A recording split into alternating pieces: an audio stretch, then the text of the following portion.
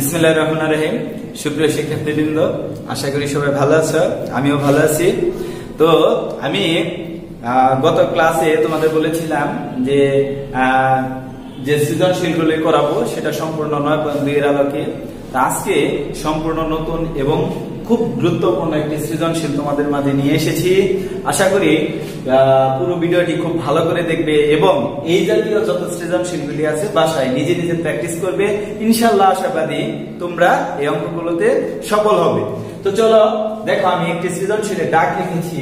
বলা হয়েছে two cos a plus b equal 1 এবং এই two sin a minus b equal 1 এটা শর্তটা দেওয়া আছে।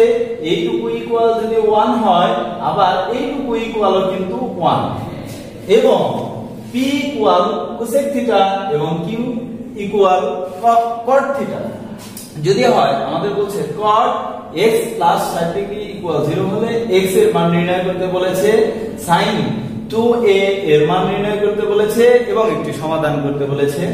ইতিপূর্বে আমরা এই অঙ্কগুলি করেছি, শুধু সৃজনশীলের মধ্যে একটু এদিক সেদিক হয়, আমি শুধু সেইটুকু তোমাদের দেখিয়ে দিচ্ছি। দেখো, ক নাম্বার সলভ ক নাম্বারে আমাদের দেওয়া আছে কি? দেওয়া আছে cot cot x plus 60 degree equal 0 এইটুকু থেকে আমাদের এই x এর মানটা বের করতে হবে।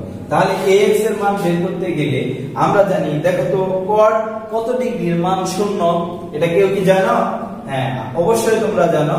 সেটা ক্লাসে ইতিমধ্যে একাধিকবার করেছ যে cot 90 ডিগ্রির মান হলো 0 এটা আমাদের জানা। আমি সেটাই লিখলাম, cot cot কে যদি উঠিয়ে দেই x 60 ইকুয়াল 90 এবার রিপ্লেস করো 90 এটা পজিটিভ আছে প্লাস আছে, ওই পাশে গিয়ে কি হবে? মাইনাস অর্থাৎ 60 ডিগ্রি সুতরাং x এর মান চলে আসলো 30 ডিগ্রি এটাই তোমার কাঙ্ক্ষিত অ্যান্সার বলছে কি x এর মান কত? X এর মান 30 ডিগ্রি এবার দেখো, খ নাম্বারটা। খ নাম্বারটাতে কি বলা হয়েছে? খ নাম্বারটাতে বলা হচ্ছে যে, এত ইকুয়াল এত তাহলে এইখান থেকে আমাদের এটার মান বের করতে বলছে। অর্থাৎ এ এর যে আমরা এর আগে এ বি এর মান অথবা এক্স ওয়াই এর যে মানগুলি বের করেছি, সেই মানগুলি কোন একটার ব্যবহার? অর্থাৎ কোনটা? এ কোন না বি কোন অর্থাৎ এ এর মানটা অবশ্যই অবশ্যই আমাদের দরকার। তাহলে আমাদের এই যে যে দুটি ই দেওয়া আছে, সম্পর্ক দেওয়া আছে, এই সম্পর্ক থেকে আমরা এ এর মান বের করব। এর মান বের করে সেই মানটা এর সাথে টু গুণ করে আমরা সাইন এততে বসাবো বসানোর পর যদি সেটা সূক্ষ্মকোণ হয় তবে আমরা সেই সূক্ষ্মকোণের মান বসালে আমাদের খ নাম্বারের आंसर কমপ্লিট তাহলে দেখো খ নাম্বার কি দেওয়া আছে খ নাম্বার দেওয়া আছে দেওয়া আছে 2 cos a plus b equal 1 এবং 2 sin a minus b equal 1 যদি এটা হয়, এখান থেকে আমরা লিখতে পারব a plus b equal half, implies that sin a minus b equal half. তাহলে এইখানে আমরা cos কত ডিগ্রির মান হাফ এটা আমরা জানি, আমরা সেটাই লিখব। এ cos কত ডিগ্রির মান হাফ আমরা জানি? 60 ডিগ্রির মান তাহলে cos 60 ডিগ্রির মান cos 60 ডিগ্রি তাহলে cos cos উঠে গেলে চলে আসলো a b equal 60 degree implies that এইভাবে যদি sin বসাই a b ইকুয়াল sin কত ডিগ্রি 30 ডিগ্রি তাহলে sin sin চলে গেলে a b ইকুয়াল চলে আসলো 30 ডিগ্রি এটা যদি এক নং সমীকরণ হয়, এটা হবে দুই নং সমীকরণ। সেম ভাবে এক নং এবং দুই নং যোগ করো। এক নং এবং দুই নং যোগ করো। যোগ করে যোগ করে আমরা পাই a plus b equal 60 degree, a minus b equal 30 degree. That is equal a a b b কাটা 2a ইকুয়াল 90 ডিগ্রি তাহলে আমরা দেখো 2a অলরেডি পেয়ে গেছি, এটাকে আর ভাঙানোর দরকার নেই। আমাদের তাহলে এইখানে কি বের করতে বলেছে দেখো তো? সুতরাং আমি এখানে লিখছি যে sin টু এ তাহলে এই টু এর মানটা পেয়েছি 90 ডিগ্রি তাহলে সাইন 90 ডিগ্রি মান বসালাম। এখানে 2a ইকুয়াল 90 ডিগ্রি বসিয়ে তারপর দেখো সাইন 90 ডিগ্রি মান আমরা জানি 1 সো এটার आंसरটা হলো 1 আশা করি সবাই বুঝতে পেরেছ। আমি আবার বলছি, এখানে আমাদের b এর মান, অর্থাৎ বিয়োগ করার দরকার নেই। কেন দরকার নেই? কারণ আমাদের b সম্পর্কিত কিছু চাইনি। চেয়েছে শুধু নিট শুধু দরকার a এজন্য এটা বের করেছি।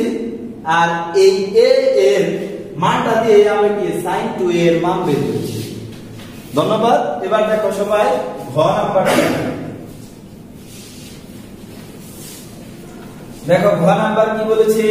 2p square 2p square plus q equal 5 হলে থিটা এর মান নির্ণয় করতে বলছে। তাহলে থিটা এর মান যদি নির্ণয় করতে বলে, দেখো, এখানে দেওয়া আছে কি কি? দুটা মান দেওয়া আছে। আমি লিখে নেই। এখান থেকে লিখছি যে p স্কয়ার উপরে তুললাম মুছে দেই, তাহলে তোমাদের একটু সুবিধা হবে। যে আর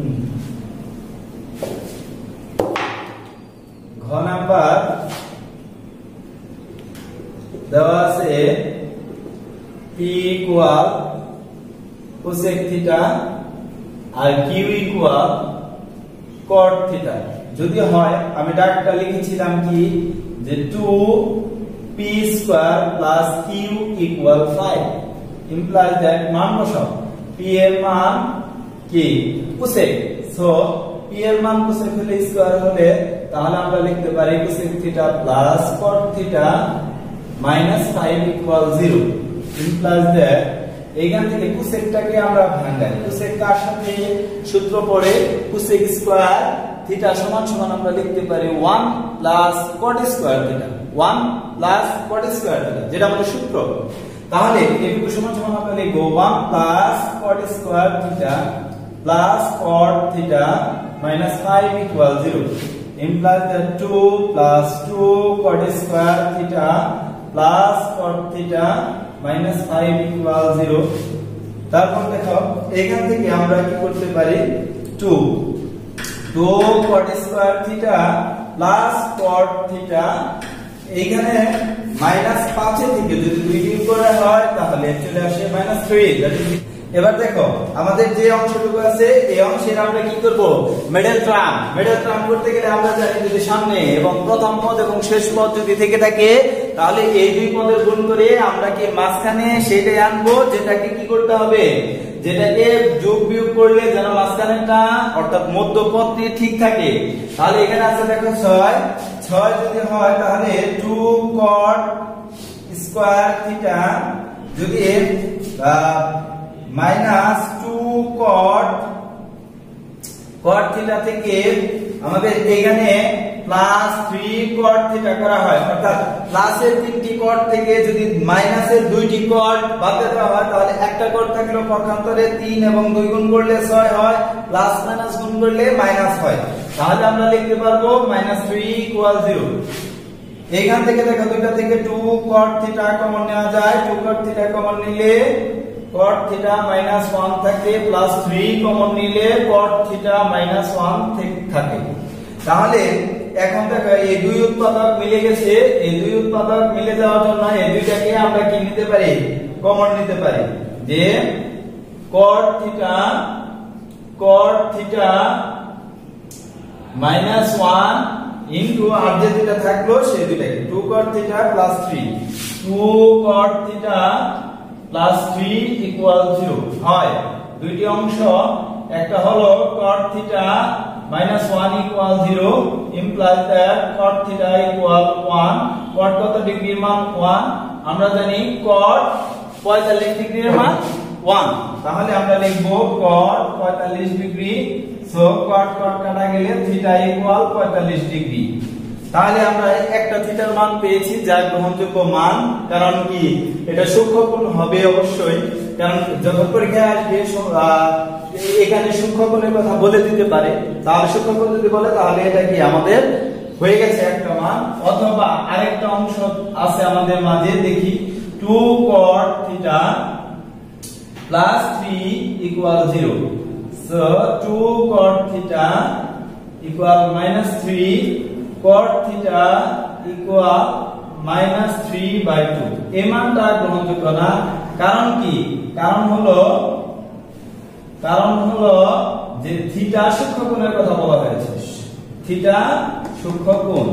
সূক্ষ্ম কোণ বলে বলে এটি গ্রহণযোগ্য নয়। গ্রহণযোগ্য নয়। তো সুপ্রিয় শিক্ষার্থীরা, আশা করি সম্পূর্ণ সৃজনশীল অঙ্কটা সবাই বুঝতে পেরেছ। তো এই এই ধরনের একটা অঙ্ক তোমাদের পরীক্ষায় প্রতিনিয়ত থাকে। তো সকলের প্রতি আন্তরিক শুভেচ্ছা। আর আশাবাদ ব্যক্ত করছি যে এই অধ্যায় থেকে সবাই ভালো মার্কস পাবে। আর এই অঙ্কগুলি বাসায় একটু নিয়মিত প্র্যাকটিস করো। ধন্যবাদ সবাইকে।